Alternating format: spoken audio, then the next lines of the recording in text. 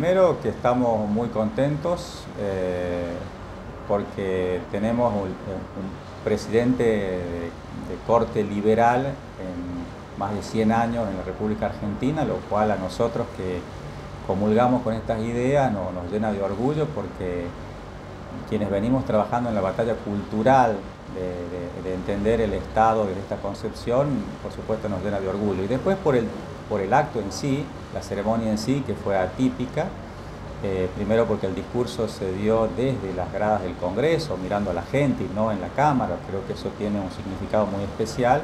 Y después el contenido del discurso, que tuvo desde mi análisis dos partes, una primera parte muy técnica, donde mi ley, eh, eh, fiel a, su impronta de, autenticidad, de ir con la verdad, ha decidido blanquear la situación, la herencia recibida, que es una herencia muy dura, y en todo momento, en varias partes del discurso, utilizó la palabra tan temida por todos los políticos, que es la palabra ajuste.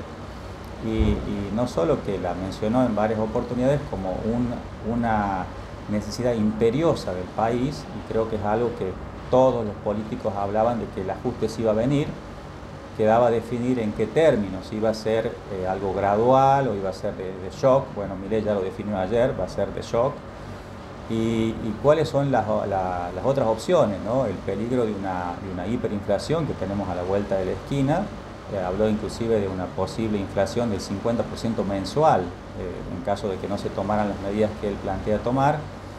Y que y en la segunda parte del discurso marcó los lineamientos ideológicos de nuestro, de nuestro espacio, ¿no? mencionó a, Roca, a Sarmiento, habló de la educación, habló de la protesta social, eh, quien, corta una calle no cobra, bueno, eh, habló de, geopolítica, mencionó a Maduro, y creo que fue un discurso que marca de manera sintética, fue un discurso relativamente corto, eh, cuál es el, paradigma, el modelo que, va a seguir su administración.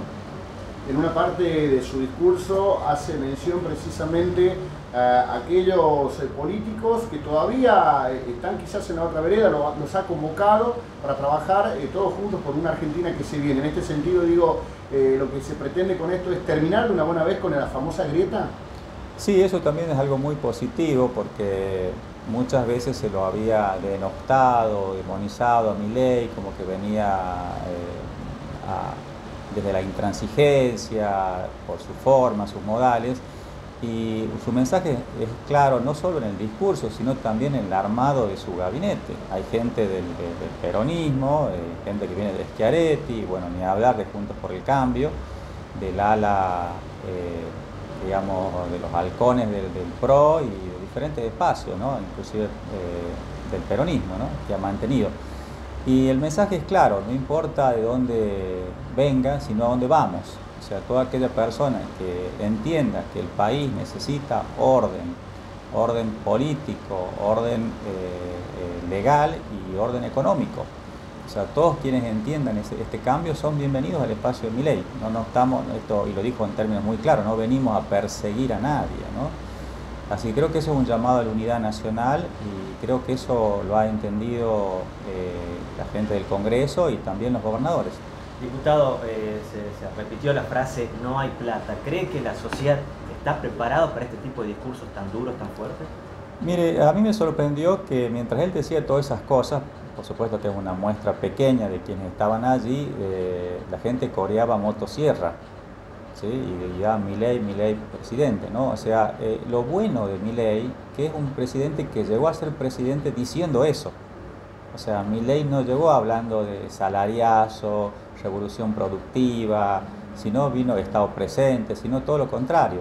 Eh, habló de la necesidad de un ajuste y eso es lo que votó el 56% de los argentinos. Bueno, de hecho fue espontáneo ayer eh, tanta cantidad de personas que fueron a, presenciar la asunción de Milei, lo mismo podríamos decir en la campaña, una campaña austera, una campaña donde no se ha eh, gastado mucho dinero y que aún así lo ha colocado al presidente eh, que, hoy que hoy ha asumido. En este sentido, digo, ¿es la nueva política que se viene, una política de sinceridad, por más duro que sea el discurso?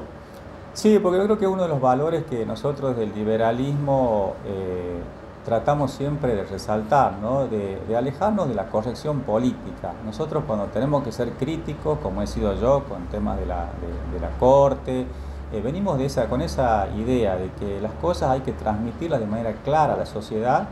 El discurso de Milei estuvo muy lejos de los discursos de, inicio de gestión que suelen ser demagógicos, de promesas, de cosas que son incumplibles y él prefirió ser eh, fiel a su estilo, que lo viene manteniendo en su campaña, en el debate con Massa, que lo hemos hablado con ustedes también, que aun cuando era llevado al extremo de tener que definirse por sí o por no, se seguía manteniendo dentro de, su, de, sus ideas y de, sus convicciones en cuanto a la Argentina que él cree que es la Argentina que nos merecemos, la Argentina que supo ser uno de los países más ricos del del mundo y que no podemos tener 50% de pobres.